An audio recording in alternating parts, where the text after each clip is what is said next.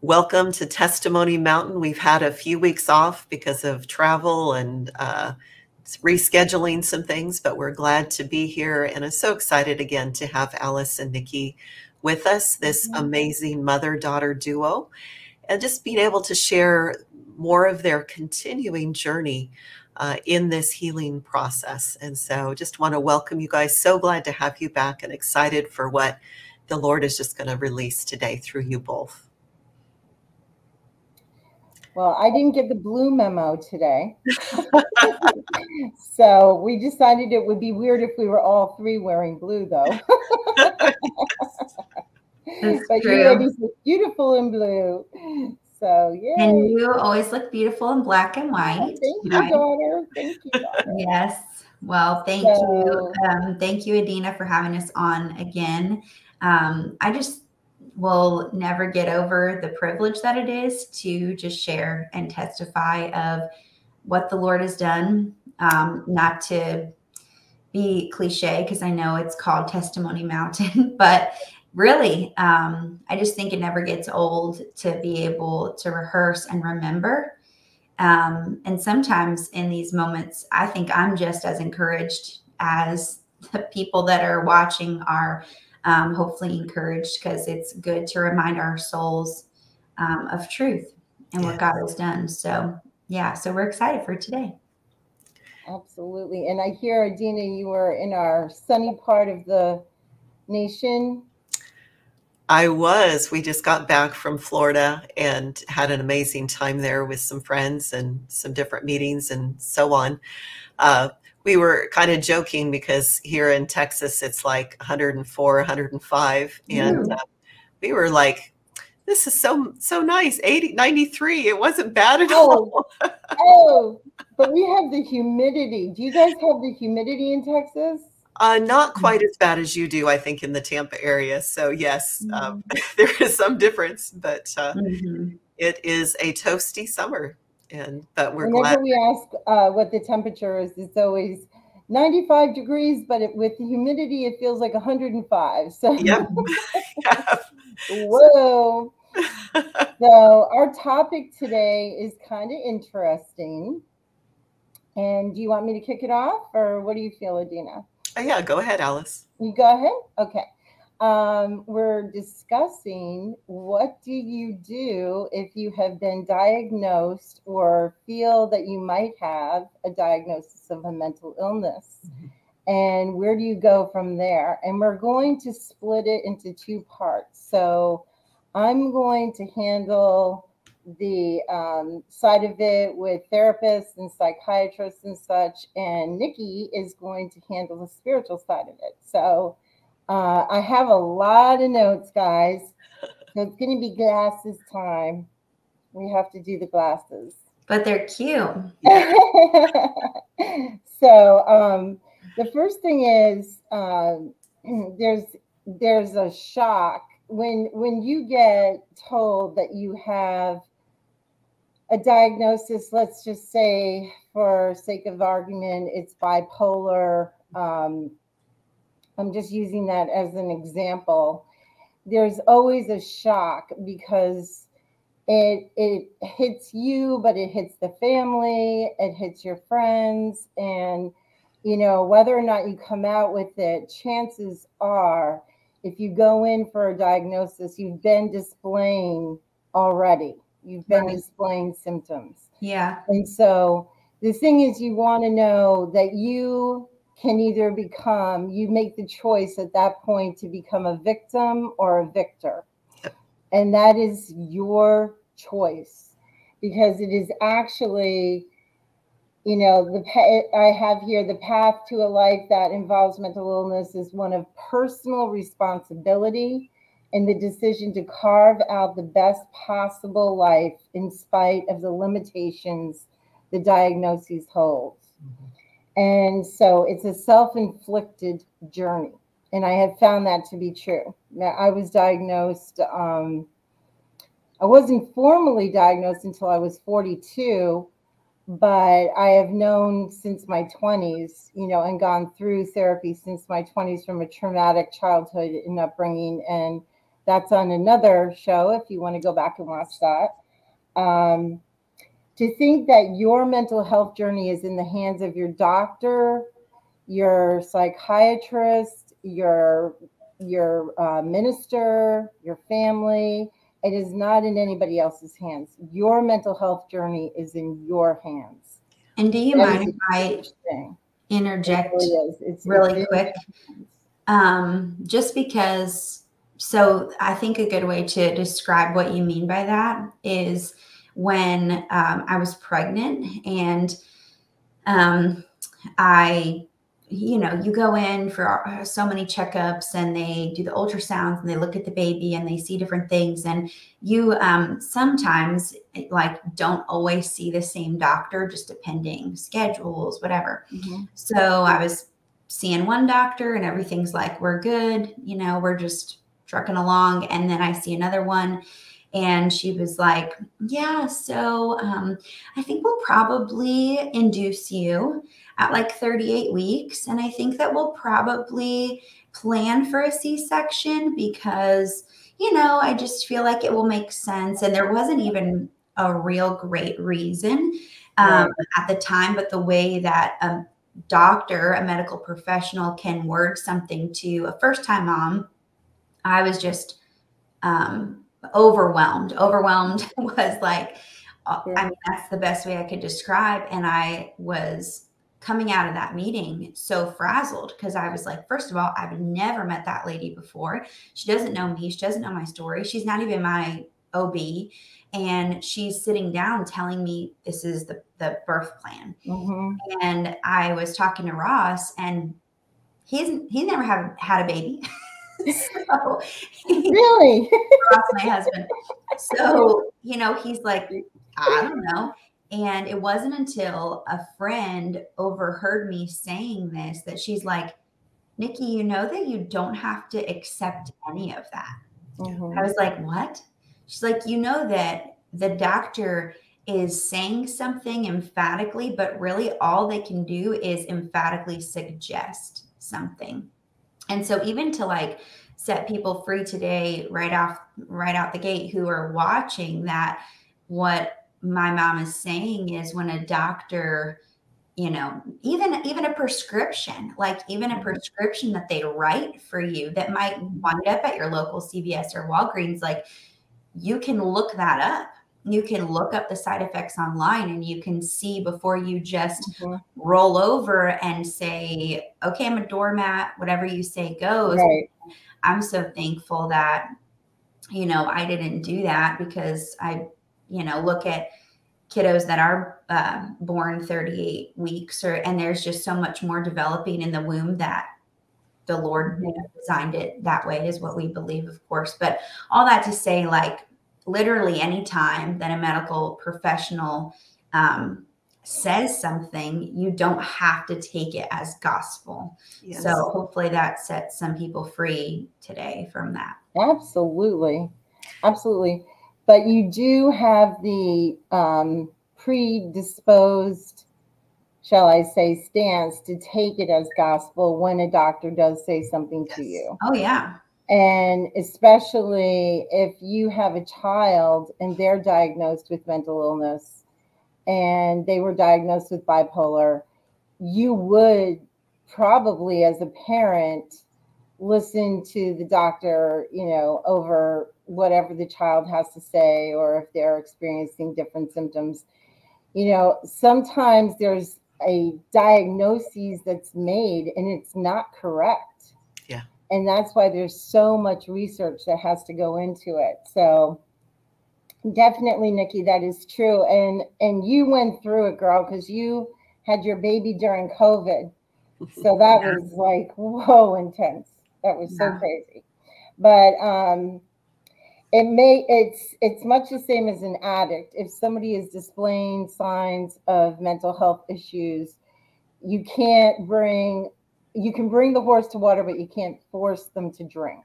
Mm-hmm. So in other words, you can't force somebody to take care of their mental health issues. And um, in, in DBT training, which is dialectical behavioral training, you learn a term called radical acceptance. And what that means is you have to radically accept that this is the lot that I've got. You know, this is what God is giving me right now. This is where I'm at. This is what's happening. And that's really a hard thing to do. So the first place to start is when you get diagnosed. This is this is pretty big. All of this stuff is pretty big, but this is huge. Get a bona fide clinical diagnosis. There's a test you actually have to take that that tells you exactly what your symptoms are and then have somebody who is licensed and certified read that test and tell you exactly what you have. Because a lot of times doctors will just throw it out there you know oh you've got bipolar you've got this you've got that you know you've got depression whatever. For many many years i was just told that i had depression that was it and that was not the case at all. I was much much sicker than that and they kept um, medicating me only for depression and I was still very, very symptomatic and did not understand why. So you want to make sure, you want to make sure that you have a real bona fide clinical diagnosis because a lot of people don't get that today, um, or they haven't in the past. And the other thing is, you need to find out if you have co occurring disorders. They call them sister disorders. And what that means is that bipolar could have OCD, obsessive compulsive disorder, with it. It could have panic anxiety disorder with it. It could have severe depression with it. There's sister disorders to the main disorder that you have. And you need to find out what those lesser disorders are so that they can be treated as well medically. Does that make sense? And you know about the the diagnosis, just you know from personal experience with mm-hmm. our son, uh, he was diagnosed with bipolar, and I think it was less of a shock because we had some family history of it, you know, and some different things going down. Um, but we did tend to, you know, just follow what the doctor said, particularly, you know, in that situation. Mm-hmm. Um, and you know, the meds that were prescribed at first, it was one of those things where it helped in some ways. He was calmer more. Mm-hmm. But then when he would, you know, flip, it was more extreme. And so, you know, it was having to come to the place of do I just want to deal with it this way or, you know, the the more extremes that was happening with the medication. And so it is so key that each one of us have to walk this out um, and and use and communicate well with mm-hmm. whoever you know the mental health staff you're working with is not mm-hmm. just you know going well this is what the doctor said i've got to do it yeah. but you know taking that initiative and processing that with the lord too what is right for me just because right. the doctor says this doesn't mean it's right for right. you know my family exactly and yeah, go ahead. Sorry. Um, sorry. I was just going to say with that, with processing it with the Lord, you know, to encourage people to listen. What is the Lord saying about this? Like, if either we believe that He has the final word or we don't. And, you know, mom and I have talked a lot about this over the years where many times throughout our lives, you know, all in our family, whether it be me or mom or my husband or my dad like we have been told something by a doctor and it's rattling it kind of shakes you. And then you're like wait okay what lord are you saying? And i had um, again with my pregnancy i was told that i needed to come for routine scans but when i asked why they again couldn't give me a good reason why. So we went for two and after the second one i felt in the office that the holy spirit said your baby is just fine because every scan was close to 200 bucks. Yeah. And so I, I don't know. Why do they want you coming for scans? I don't want to make this a like, let's bash the medical field because yeah. there are like God ordained people and God breathe the ideas of medicine largely, I believe, mm-hmm. into, you know, the brains of human beings. But there's corruption everywhere, right? And so, anyway, in that office, I just was like she's good. And we didn't go. Again, this was around 20 something weeks. We went back around 36. And the doctor, again, like a guy I hadn't seen, came in, did the scan, and he's like, Well, your baby is absolutely perfect. And he's like, Everything that was said to you, just disregard all of that. And he was like, And your pregnancy is great. And like, it even appears that if you were to have another child that you would have another great pregnancy there's no like you know there's just no issues at all and i'm like thank you lord i you know like i knew mm-hmm. i knew i heard you and yes. so even to just encourage people to really when you know that you've heard the lord um, don't doubt you know go with um, we have peace about this we can see his hand in this and just watch how he works and how he'll save you hundreds of dollars. Absolutely. Absolutely. Right. Oh my goodness. Um, you made me think of yesterday, I was having a conversation with a friend, and unfortunately, her sister was diagnosed with ovarian cancer. And she has tumors throughout, and it was caught late Mm. And so um, it's something that they've really been battling through, and she's been going through the radiation. Well, all of a sudden, she got to a point where she could not remember how to even work a phone. Mm. She couldn't remember people's names. She was really off the chart with her um, brain symptoms. And they thought immediately the cancer had spread to her brain. So they called the family in and they were having, you know, everybody say their goodbyes. It was very traumatic. It was terrible. And then all of a sudden, they realized it was a thyroid issue. Wow. Her thyroid medication was off or not being given correctly. And the thyroid was what was causing her, in addition to the cancer treatments, to have this radical brain thing go on and so she did not, in fact, have it spread to her brain.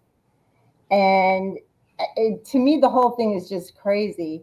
But um, they found this out, thank God, in time yes. and to treat it with thyroid medication, nonetheless. Yeah. Wow. So, there's, um, yeah, there's a pastor that I worked with at our old church who would always say that the medical professionals are just practicing medicine mm-hmm. and that God, our Father, is the great physician. Absolutely. so, they were thinking and praising God right now, but yeah. You know, so you do want to make sure um, that you know the first thing is that you get a proper diagnosis that that's what we were saying and also find out if there's any sister or you know conjunctive disorders that go along with it. The second thing is you want to find a licensed therapist who specializes in the disorder. For many years, I went to a therapist that didn't even specialize in what was wrong with me. And so we kept going round and round in circles, and she was getting so frustrated. And she was getting frustrated with me because I wasn't responding I wasn't responding, my symptoms weren't responding to her treatment because it wasn't the treatment I needed at the time. Yeah. And so, you know, that's something you really have to look into. Not all therapists will be a good match for you. Yes. And so, what I recommend uh, from personal experience is that you don't go in and just dump your whole story all at once. Don't go in and just spill your guts to that therapist have one, two, three appointments with them and see how you mesh with them, see how it's going. And then the other thing is you want to see what kind of skill set do they have? Are they trained in cognitive behavioral therapy? Are they trained in dialectical behavioral therapy? Do they know EMDR, which is a, an eye movement thing that they do with a machine that helps trauma victims? Um, what techniques are they trained in? Are they trained in trauma counseling? If you have a trauma background, are they even trained in trauma counseling? Yeah. There's many therapists that aren't. Mm-hmm. And you'll go to a talk therapist and they have no idea about how to work with a trauma child background. Yeah. So and sometimes that talking, talking, talking all over it actually just embeds the trauma deeper. Uh, so. Adina, you couldn't be more right. Couldn't be more right. And then also make sure that your schedule aligns with theirs. That if you work a nine to five job, they have evenings available, they have weekends available, or vice versa, whatever the case is, you want to make sure your schedule lines up. And it needs to be a weekly, in my personal opinion, from what I've experienced over 20 plus years of going through therapy, it needs to be a weekly appointment mm-hmm. with the therapist in order to have that continuity uh, built in there. And they need to look to help to to have you develop skills that will help you work with your symptoms, work with your stress load, work with all the things that you're facing.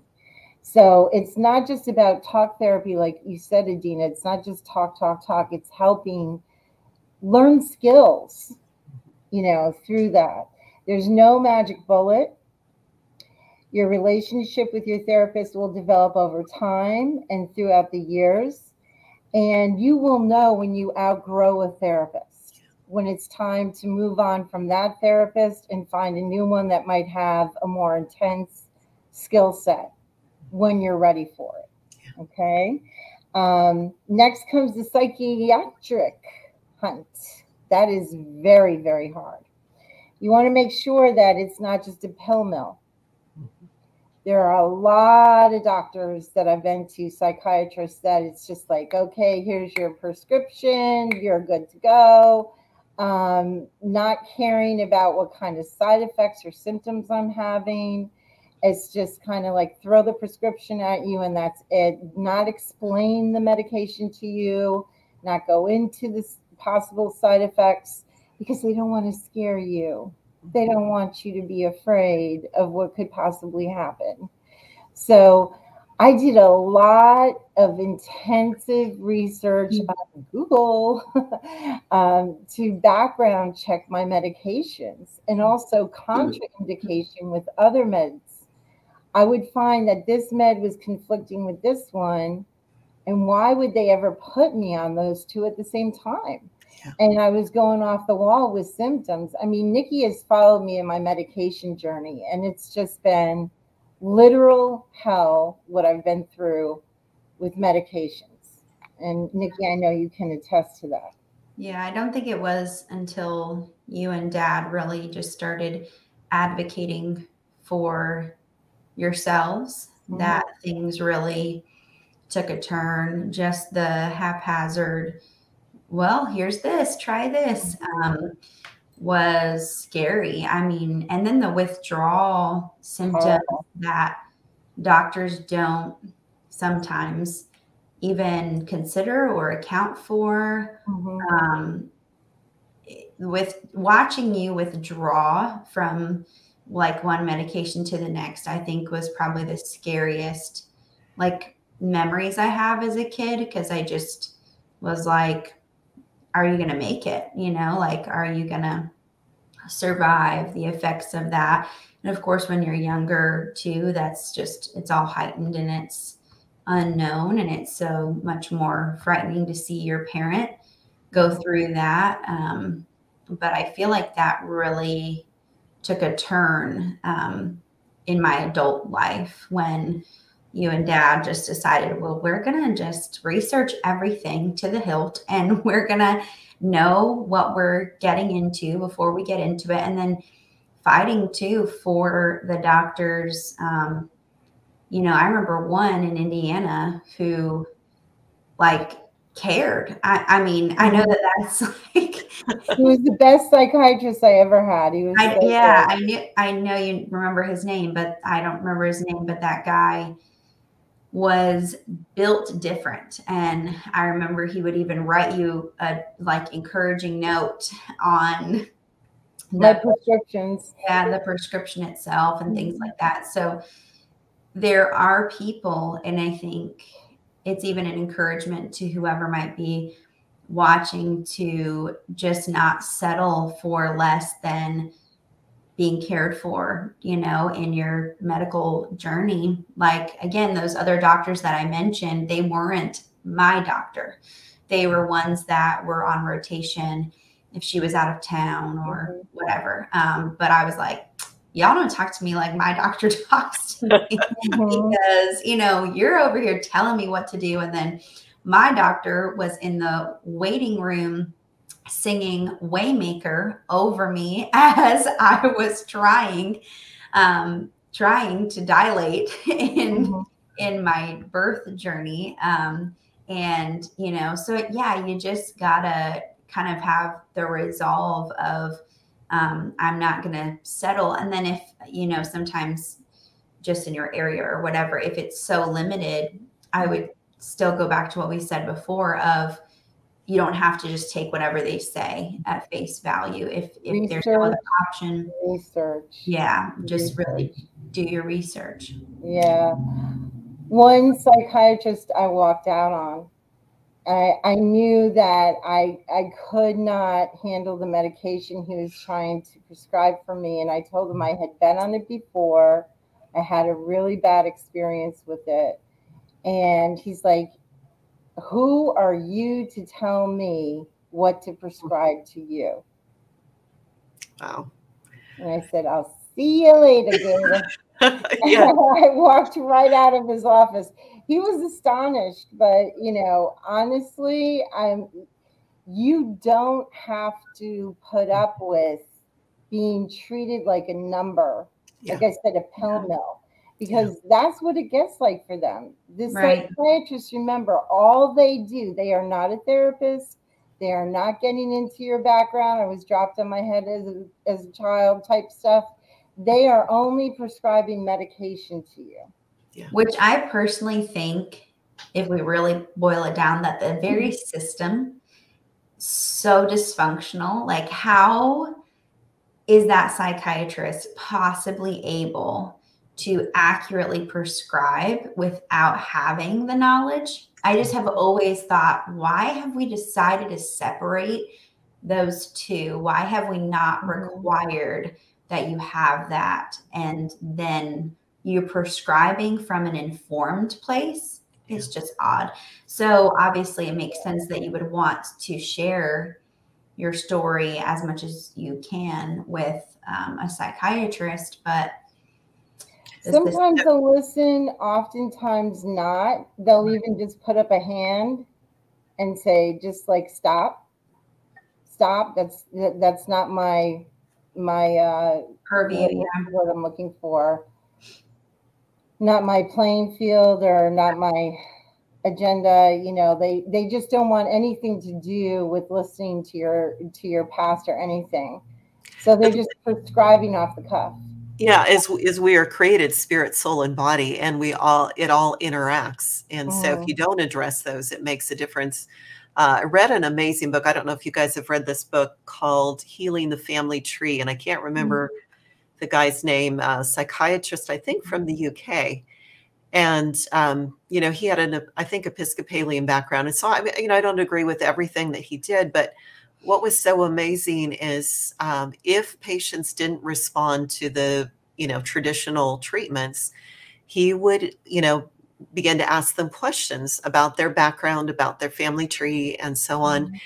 and um, the testimonies from that book are yeah. so amazing and i really didn't understand it at that time um, you know, some people call it lingering human spirits. Some call them alien human spirits. Uh, I'm trying to think of what Amanda Buys calls them.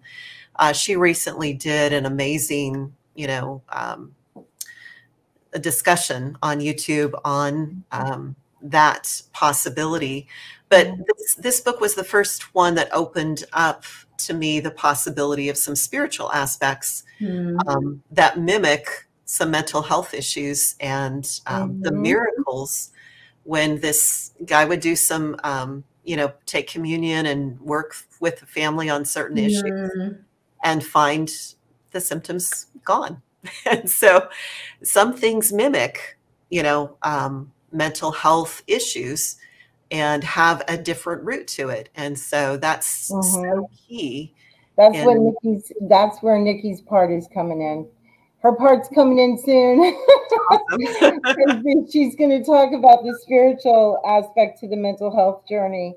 Um, so, okay, if you have an unsympathetic uh, psychiatrist, you definitely want to work with them uh, to get them over to your side. And if you can't, you move on and you find another one. You mm-hmm. also want to know what hospital affiliations they have, what doctor affiliations they have, because God forbid if you have a situation that lands you in the hospital, you want to make sure that your psychiatrist is licensed to work with that particular hospital. You know, so that's very important also. And I used to look at it as a team approach. Mm-hmm. I would keep the responsibility, and my husband, my husband and I would do this together actually of having my PCP, my personal care physician, know what my psychiatrist is doing, know what my therapist is doing, know what my woman doctor is doing, so that all of them were on the same team and they weren't double prescribing, over prescribing, and such like that. That is really not anyone else's responsibility but yours. Unfortunately, again, it falls on you um, your family, if you are uh, working with a minor, your family needs to know the medications. They, the mom and dad need to be in charge of looking into the medications, what the side effects are.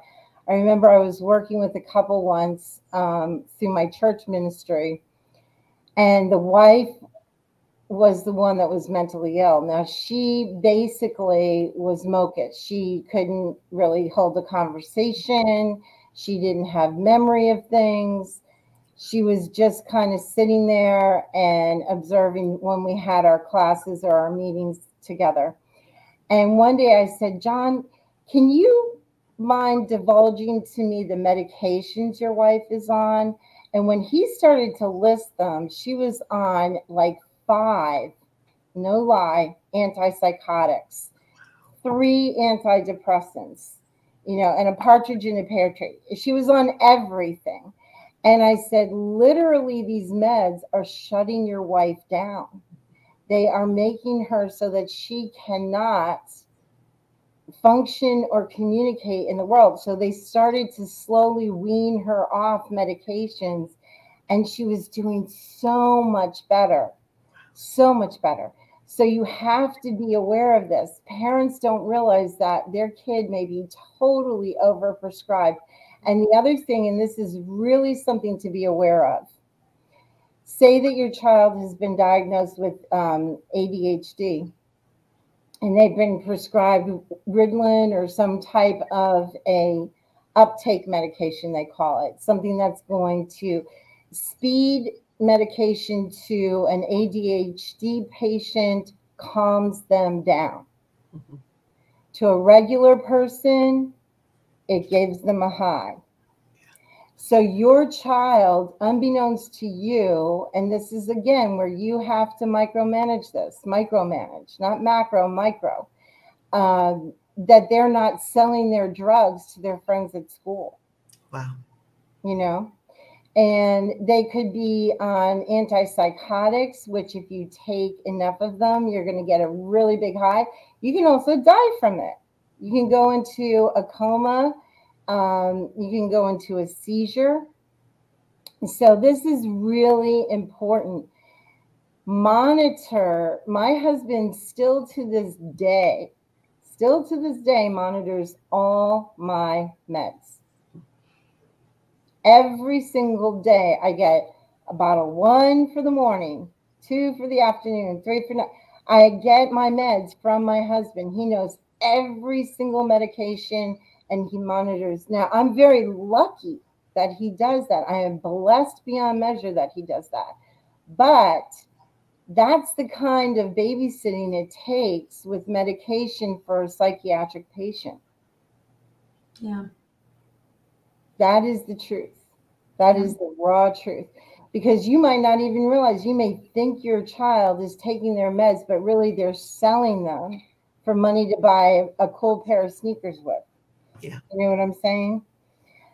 The um, last thing I want to talk about, um, well, there's two things really, but very important is getting a safety net around you. You want a safety net of people. And what I'm talking about is you ask their permission. Uh, in other words, my daughter is not in my safety net. Mm-hmm. Okay. They can say, no, I don't want that job. And what that job is, anytime, day or night, if I'm having suicidal ideation, if I'm going into a freak out, if I'm having a panic attack, if I'm doing this or that. Now, she did so much of that while she was growing up and while I was so symptomatic and we had no idea what was wrong with me.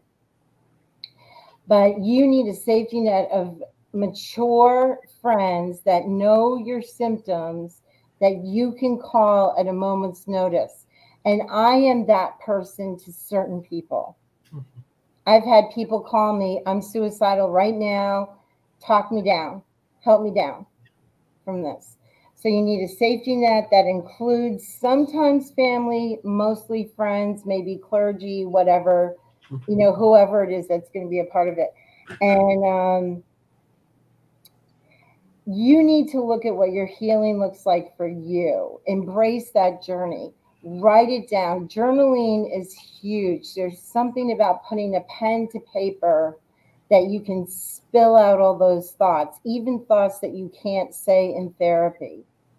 And that will give you that knowledge. It's almost like talking to your inner child, you know, like what did that seven year old Alice go through that she needs to work through right now? So that's very important.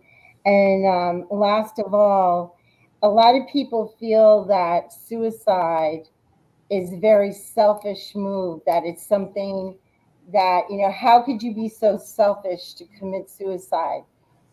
I want everybody listening to this broadcast to know that it's not selfishness, it is a symptom of mental illness. Yeah. Suicide is unfortunately a symptom. It's just as if a person with a heart condition has a heart attack. You don't say, well, that's so selfish of you. Right? A person with diabetes goes into diabetic coma shock. That's so selfish of you. Yeah. Suicide is a byproduct of a diseased brain. Yeah. Okay. Which yeah. I I fully agree with. And, you know, it's um, sad in the church where people put a stigma and believe that someone's going straight to hell if they committed suicide. And exactly. we do not believe that at all. Mm-hmm. Um, my yeah, husband, it's part, know, it's part of the disease. Yeah. My husband, you know, went through depression as a teenager and, you know, got a gun and, you know, put one in, you know, the chamber and he did pull the trigger, but it happened to be the round that was empty. And then he, you know, lost heart. He didn't know the Lord at that time, but then he mm-hmm. got scared, you know, and he didn't. And I'm grateful for that. Um, but again, it's, um, you know, it is a symptom of a whole lot more. And, um, you know, it's their desperation uh, trying to get freedom. It is desperation. It's desperation like you cannot explain to somebody just as you can't explain to somebody who's never given birth what it's like to give birth, we're using all these birthing analogies here. Mm-hmm. Um, you can't explain what it's like to first hold that child if somebody hasn't had a baby. You can't explain to somebody the sheer frustration, angst, hopelessness, yeah. desperation of suicidal thoughts. Mm-hmm. You just can't explain it to somebody if they haven't had it. And so, you know, to leave that on an upbeat note, that's where you turn toward that that network of people that you make mm-hmm. so that you have somewhere to go with it. Okay. Yeah. And if if they're like my daughter and they had enough is enough, and they say politely, I don't wish to be a part of that network, but that's okay. You know, there's other things she does for me. And it is a very hard task to talk somebody down from suicide. Yeah. Yeah. So well, and I think too, not, not easy. Our so, journey. Uh, yeah. Sorry, I just was saying our journey has, our relationship has been protected mm-hmm. by me stepping out of a wrong role as daughter. Right. And I'm able to, you know, have my role as daughter reinstated, I think, where it was removed for many years, right? And the mm-hmm. role of caretaker was really the primary role. Um, and so now we get the joys of being mother, daughter, and then my three year old um, granddaughter. And we do things like yesterday, we, well, we tried to go to the pool, but immediately the Florida weather, lightning and thunder came. So, anyway, we get to do fun things like that where um, there's not a like dual it's almost like it would require me to mm-hmm. just and i remember this from my childhood be like off on off on so so like mm-hmm. when if you're um the child of a mentally ill parent and they are expecting you to care for them and to talk them down to be their care person um, it's very difficult for the child to know when does that start and stop so I would then get reprimanded when mom wasn't in crisis because I would just continue parenting her, right? And I would continue, and that's real dysfunctional as a child who's called by God to respect and honor and yes. obey their parents. Mm-hmm. And then it's like, well, no, you're supposed to obey me because I'm a parent and I'm 12. Yes. like it's just that role reversal that has been so healed in our story. And of course, that's always our hope and prayer that anyone that listens would be able to see and identify some of those areas to kind of examine man do, do some of our roles in our family you know need to be put back together. Um, but to stick with what we've been the road we've been on i think one of the ways that um, i was able to have my role reinstated was exactly what mom just mentioned by having a team a team of people that i didn't even know yet that I didn't even know that I needed. I didn't even really know existed. I just um, started to display, you know, some emotional outbursts, some symptoms that even I was looking at myself going, who are you? Like, what are you, what are you doing? This isn't you. And um, anyway, I definitely went the route of traditional talk therapy with a therapist who my husband and I still see today. We're probably going on seven years of a journey with her. And um, it's really beautiful that there's been able to be that longevity. But then, too, um, there's two things that um, mom and I thought would be just helpful to, to talk about and even to just suggest to people today as um, those what so what I feel, I don't feel like it's an alternative route. I feel like it's everything. like rather than um, just taking one thing that God has to offer, I want to take everything he has to offer. And, you know, he came that we would have life and have it to the full and have it more abundantly. So I think about, man, there's so many tools mm-hmm. um, to heal. And so for me, I was doing traditional talk therapy with a licensed Christian counselor. And it got to a point where, you know, um, I'd been able to establish some healthy boundaries mm-hmm. in our family. I'd been able to, like mom said, I learned a lot of skills, mm-hmm. skills that I didn't have. And then the emotions, I just was still all over the map and felt out of control um, there's a real significant time where I got into some argument with dad. I don't even remember what it was about. Um, but I was so filled with anger and rage and just that was welling up inside of me that I remember I just um, was like, what am I going to do with this emotion? I it was it was kind of like you feel like you're crawling out of your own skin mm-hmm. almost and um, this was before we had our daughter, thankfully. Uh, but I'm in my house by myself. I want to say Ross was still working, and I just remember thinking, I have to get out of here. I have to run. And I was in, like, if you can imagine, Keds skinny jeans and a button up shirt from work. Okay. And I just fling open my front door and I start sprinting.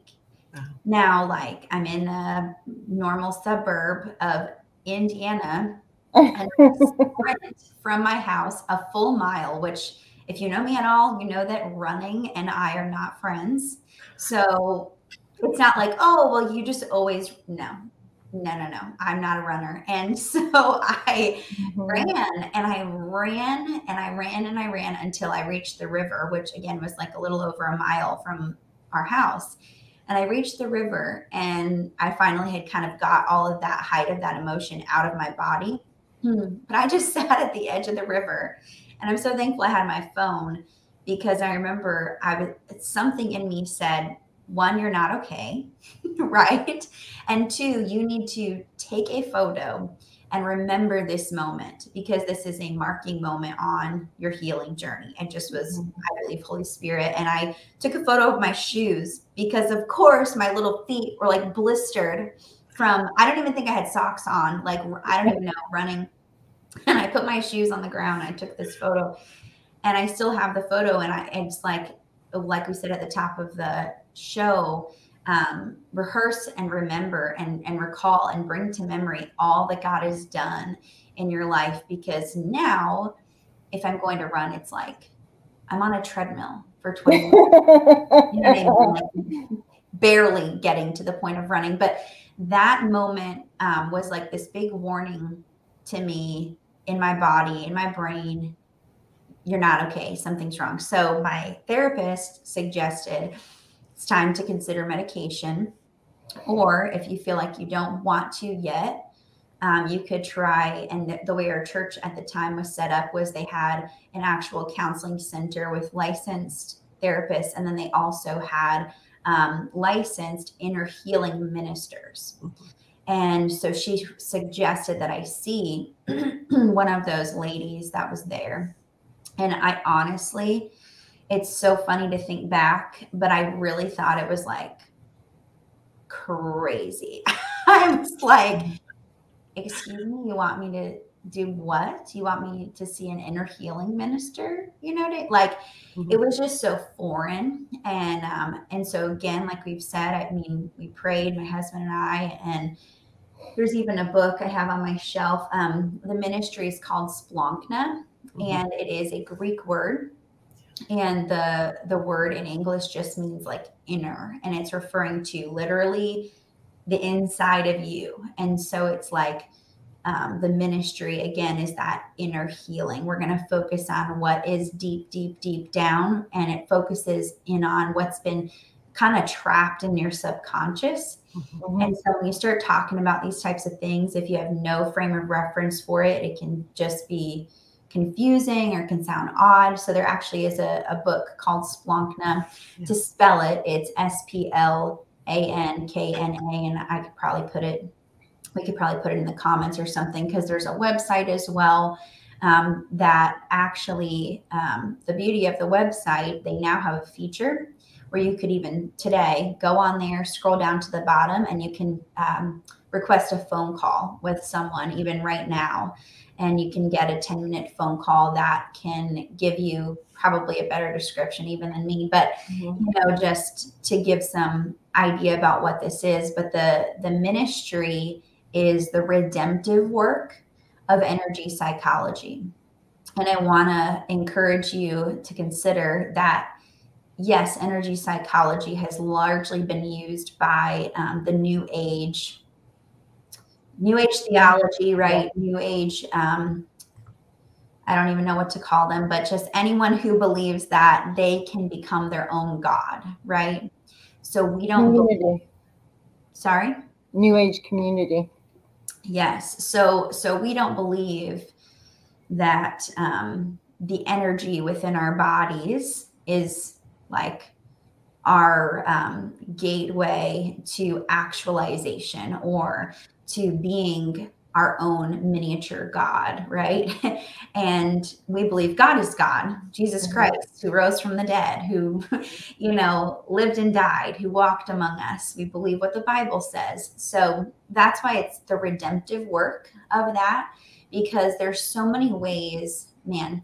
So so the enemy can't create, he can only distort what the Lord God has already made and created.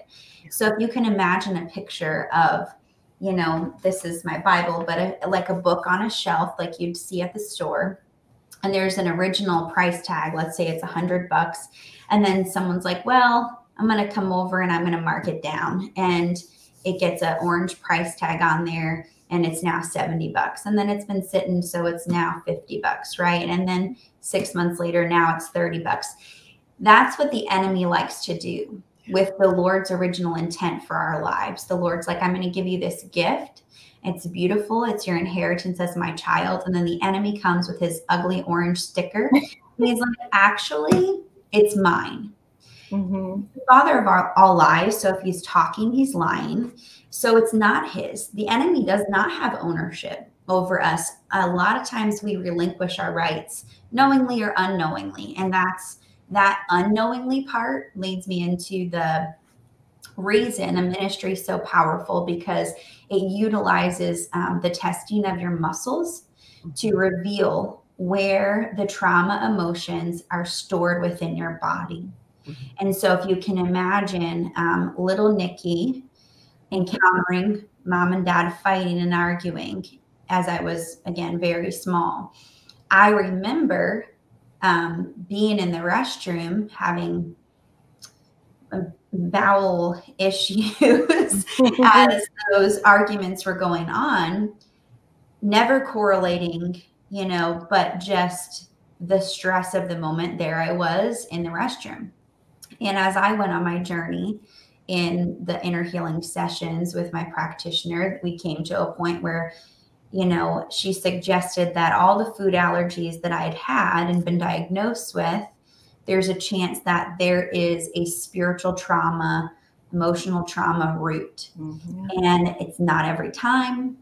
It's not every story is different. Um, just because it happened for me this way, I understand every person's life, you know, looks different.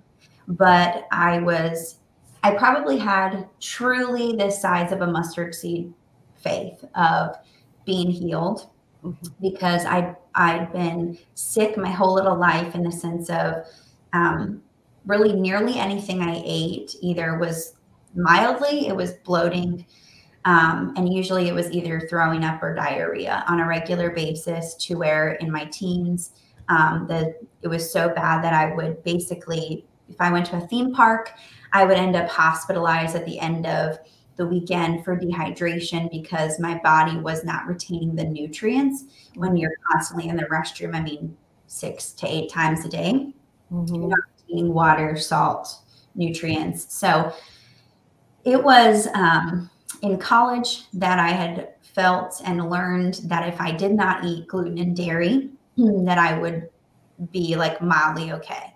Mm-hmm. And I still had other issues. And then suddenly it was like, oh, you can't have onions either oh, and you know, like spicy foods. It was just the foods that I could eat were the list was very, very, very small. Um, caffeine. What a sad life without caffeine. Um, I just say, what a sad life without coffee. Um, but yeah, so so I ate that way 11 years and through the course of a two year journey of these intense inner healing and deliverance, really deliverance sessions. Mm-hmm. Each session ends with coming out of agreement with a lie, coming into agreement with truth, mm-hmm. disavowing an inner vow that you once made, going all the way back to womb trauma. I mean, just the depth of the the depth of the work. I um, had a hard time believing that I was healed. There was a little voice inside me that was like, You're healed. Then the Lord spoke to me in a dream and He said, You've been healed. And then finally, I got the courage to have an M&M. And like, like two years ago, I and I was okay. And then I ate a Publix Italian cookie and I was okay. And then I, you know, like I had a cup of coffee and I was okay. And I just used to be, if I had a cross contaminated food, I would be in my bed and the bathroom for three days. Like call out of work, call out of school, like, and so, um, so Splankna is a, a, beautiful tool that is, if you if you want to imagine what the session is like, it is all prayer led. Mm-hmm. So it's all giving the lordship and the direction of the session to Jesus. Mm-hmm. And by way of Holy Spirit, he'll reveal an age through the muscle test as simple as a press on your wrist. Mm-hmm.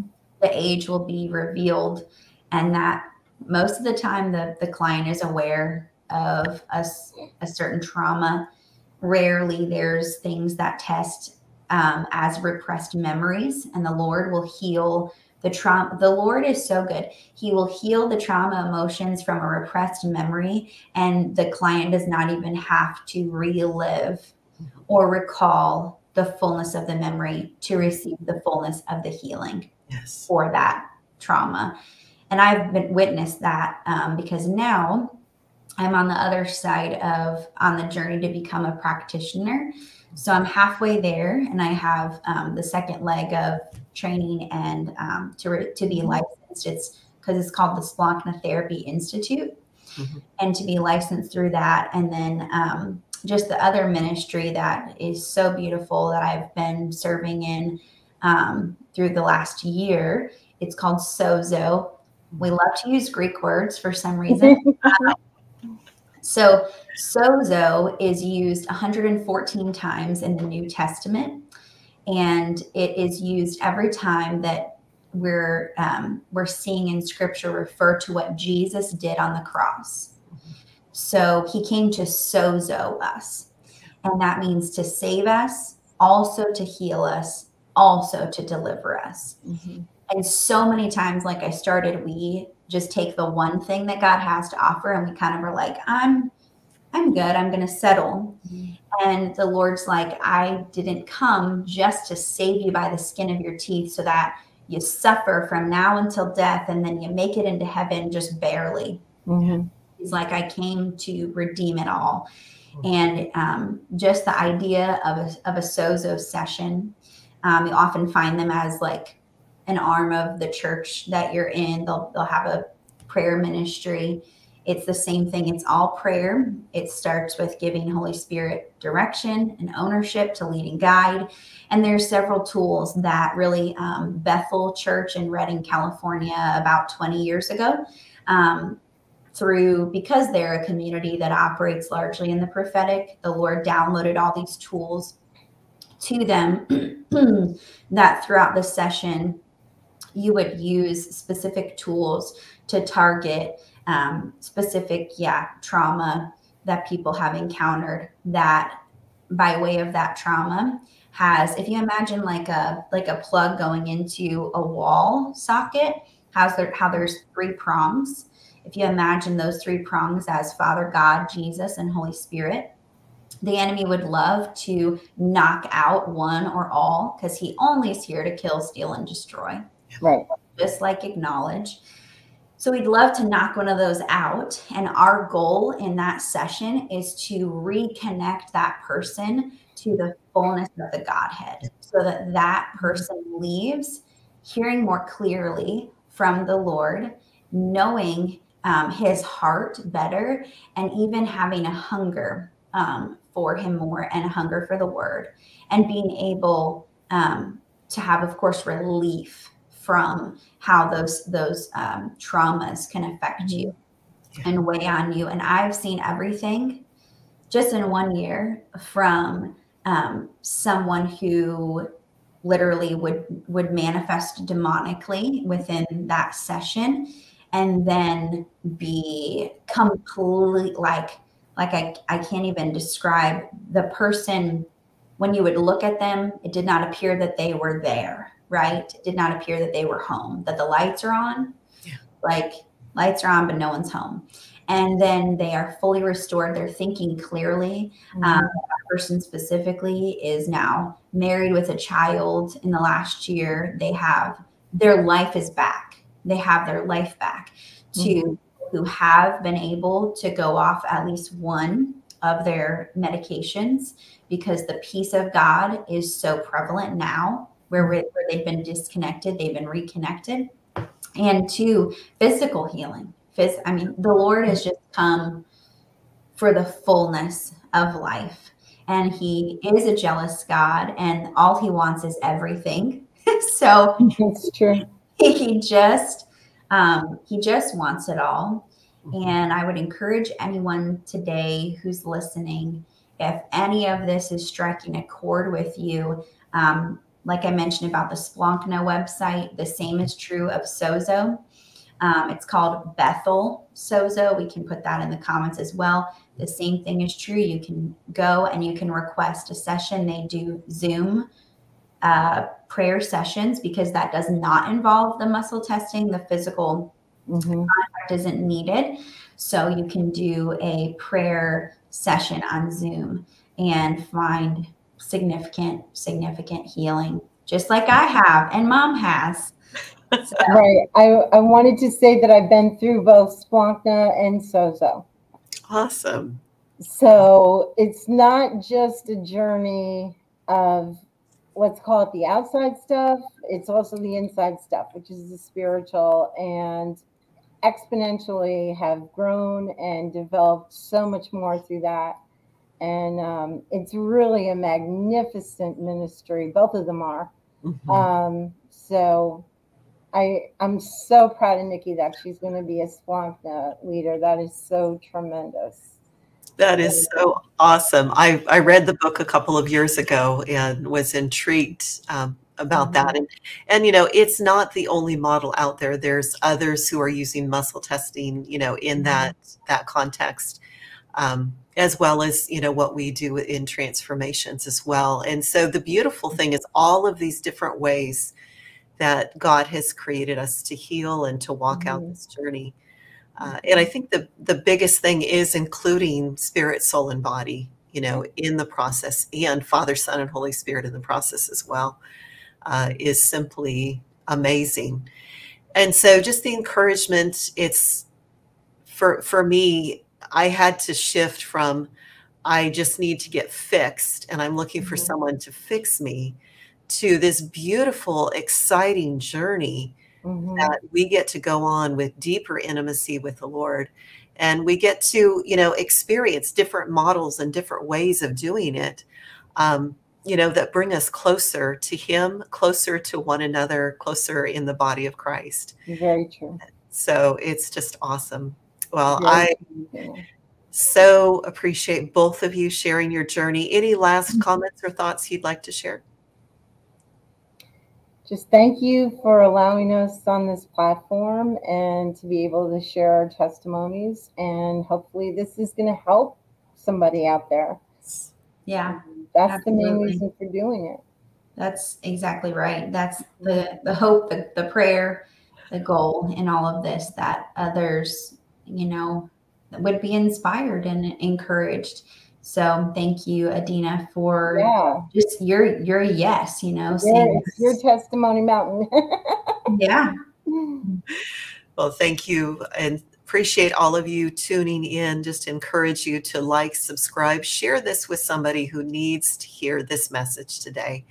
And also, if you have a testimony, would be delighted to um, have you on to share your testimony. And it doesn't have to be a full hour. You know, you can go, well, my testimony, I don't know if I could, you know, is we all have a testimony. And the more and more, as Niki was saying earlier, we rehearse it, we share it uh, beyond just maybe our friends and family. Mm-hmm. Um, it has a ripple impact, you know, frequency that goes out and that impacts the world.